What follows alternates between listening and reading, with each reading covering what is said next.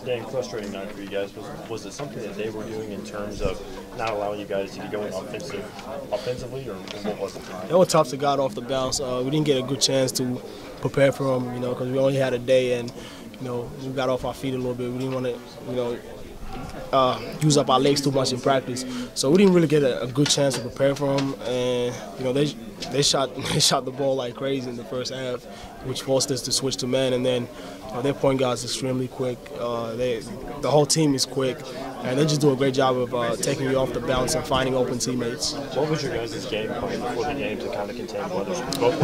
I mean, playing zone, just uh, you know, just playing zone pre prevents that. But at the same time, you know, they made shots, so you know, it kind of forces you to pressure up a lot more. And then once we switched to man, they just did a great job at sacking. Much drama as you've had to deal with over your career here.